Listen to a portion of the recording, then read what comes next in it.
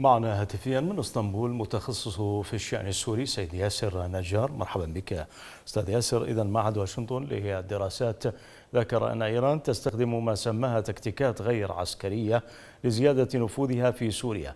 ما المقصود بذلك؟ مساء الخير.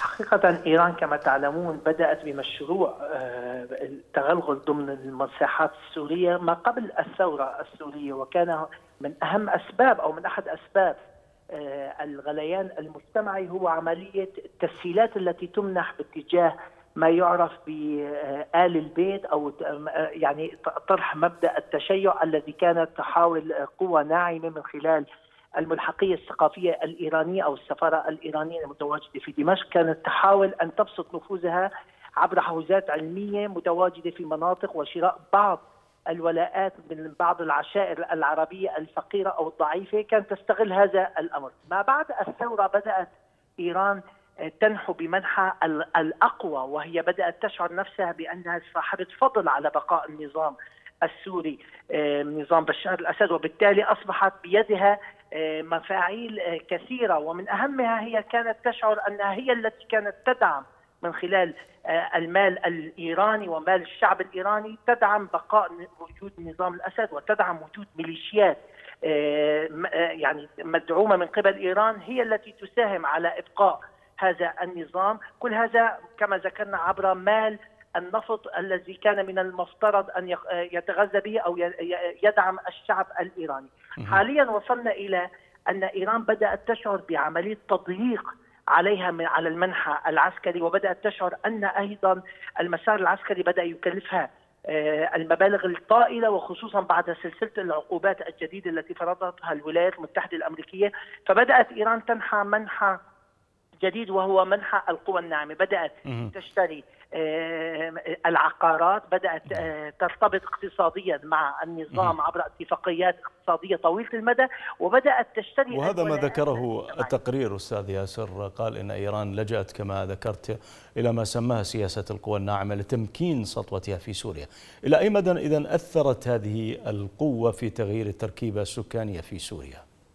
يعني بتصور إيران عندما يعني أرادت أن تتدخل مجتمعيا بدأ تركيز آه، انتباهها على ما يعرف بالأقلية الشيعية التي كانت يعني بنسب قليلة جدا متواجدة في مناطق آه، آه، النفوذ الثورة أو مناطق المحررة. أنا أتكلم عن الفوعة وكفرية بالنسبة لريف إدلب والنبل والزهراء بالنسبة لريفي حلب.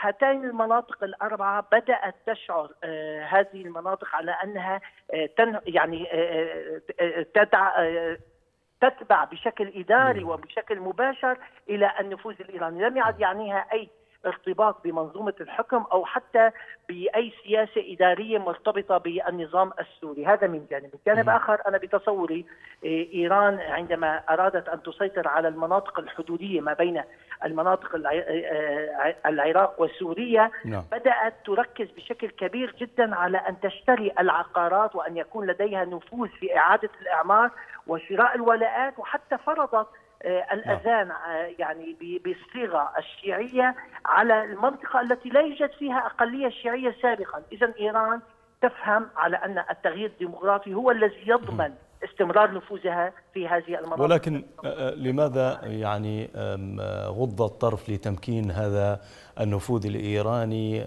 أم أن القوى العظمى يعني أرادت لهذا لهذه التغييرات أن تمر؟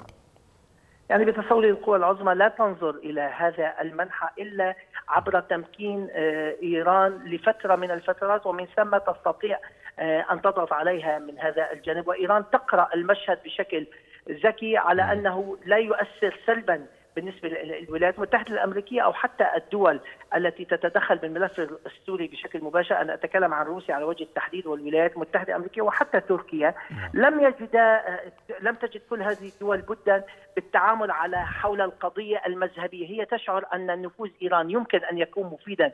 فترة ما ومن ثم يتم تقييده وضغطه. أنا أرى أن الولايات المتحدة الأمريكية لطالما استثمرت الفزاعة الإيرانية والقضية المذهبية بالنسبة لدول الخليج وكان هذا الأمر الأمر آه، يضمن لها استمرار نفوذها بسبب زيادة المخاوف في الدول العربية، أما بالنسبة لتركيا فهي ترى أن العلاقة مع إيران هي علاقة اقتصادية أكثر منها هي علاقة لها دور من ناحية مذهبية أو من ناحية دينية، لذلك أنا بتصوري إيران تقرأ المشهد عبر هذا المشروع بشكل ذكي جدا في حين أن الدول التي تتعامل مع إيران لا يهمهم أو آخر ما يهمهم هذا الصيغة. شكرا جزيلا كما إسطنبول متخصص في الشان السوري سيد ياسر النجار.